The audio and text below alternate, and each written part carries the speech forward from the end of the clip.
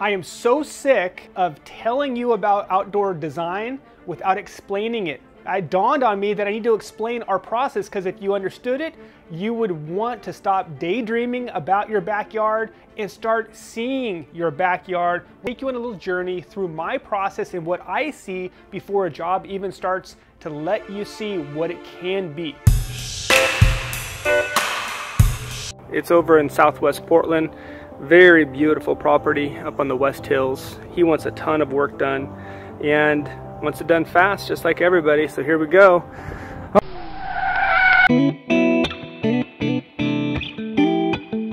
And I really want you to understand the process because I've been doing it for so long that I can go to a backyard and be able to point to where things should go. Now the process that I'm describing to you is the same for you no matter where you live. If we're to talk over the internet, basically via Zoom, I could see your property and what I would do is send you over a request for videos, request for photos, and then I can even see it from the satellite. I can pretty much, and my team can pretty much design the space for you right there on Zoom. And I'm gonna show you three jobs that we've done that I did a walkthrough on. As I look at something, I'll say, this is where it goes. This is what should happen. And you're gonna see that for your own landscape. And this is our 3D design process. He wants a ton of work done and wants it done fast, just like everybody. So here we go. This fence and gate, they want to get rid of that. They hate this tile. They don't mind the brick right here, but they hate the tile.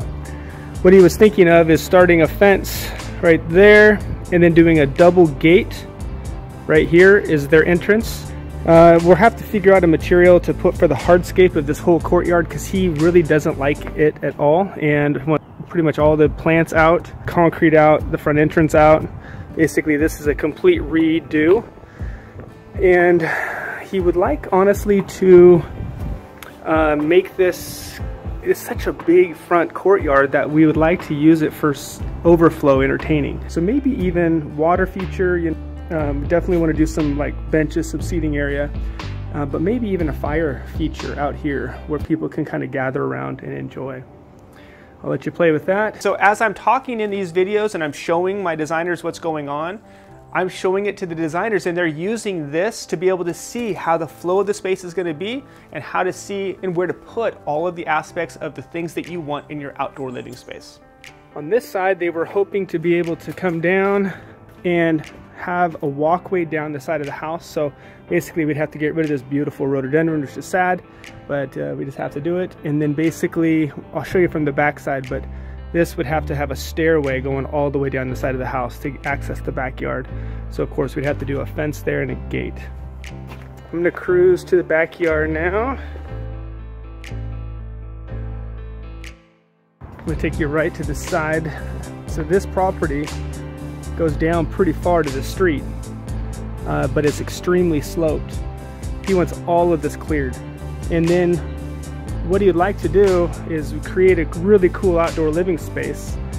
So we definitely do tongue and groove on the deck and then, uh, you know, kind of create a really cool space here.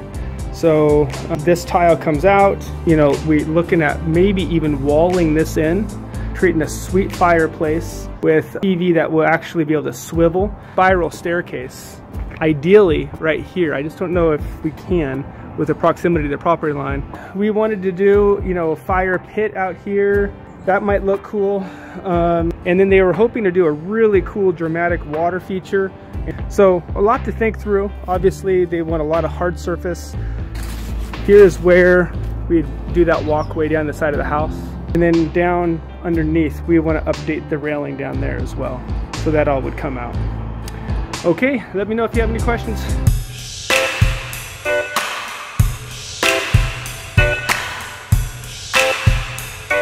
So take a look at the way these 3D images that we created match the finished job. Now the beauty of this is that as we show you the 3D, you're seeing it in the future. Basically, you can tweak it until it's exactly what you want and then we can with confidence know that that's the way it's gonna look it when it's installed.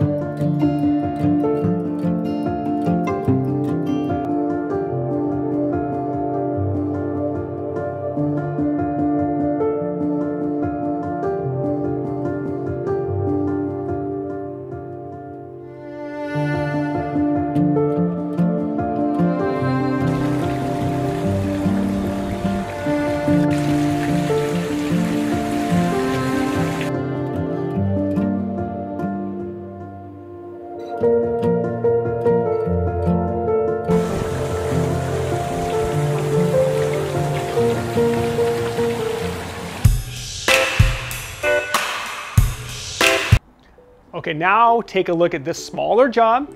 It's just a simple little structure with a fireplace, but look at what we had to work with. Here we go. It's only a little tiny space that we're actually designing, so it's a backyard only design.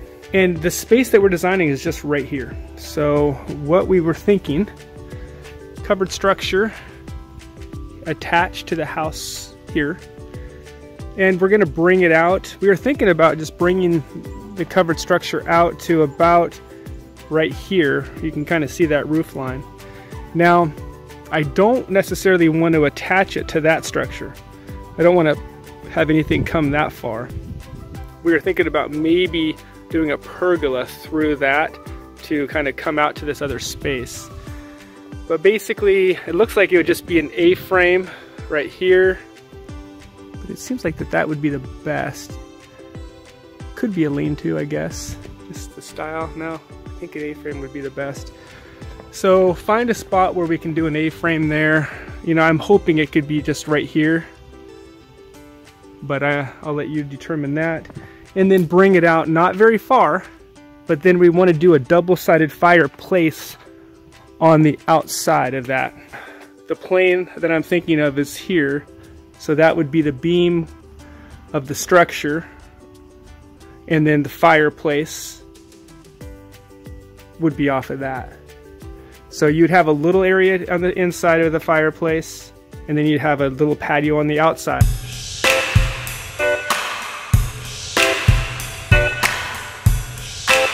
Now I want to let you see here how closely the 3D design matches the finished product, and that's definitely what we can do for you.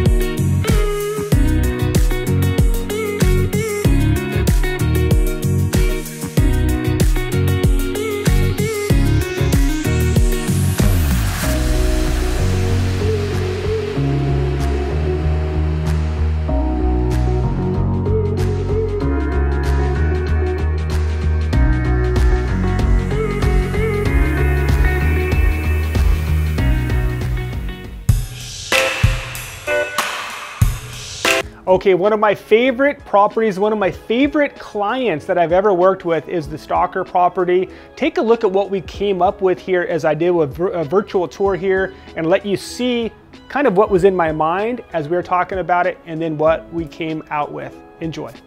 As we start off here, I'm gonna take you to the back first. This to me is horrible, needs to go. I would love the transition into like a paver walkway here, something like in Mega Arbel. He really likes the Mega Arbel Victorian. So we'll just, you know, have a, a pathway over. I'd like to stop it just because he wants to keep some of the concrete. Stop it right there at the end of the house, uh, that broken edge Mega Arbel. I'm to turn around though and show you a covered structure and it's going to come out. I replace a kitchen and that will all be in that kind of that covered area. Underneath that structure, we're going to make it that Mega Arbel Victorian. And then depending on how far that comes out to, let's say it comes out to like right here, we need to figure out a good transition over to this pond. By the way, we're going to demo this whole pond. He's going to take the fish out uh, and we're going to change this whole flow.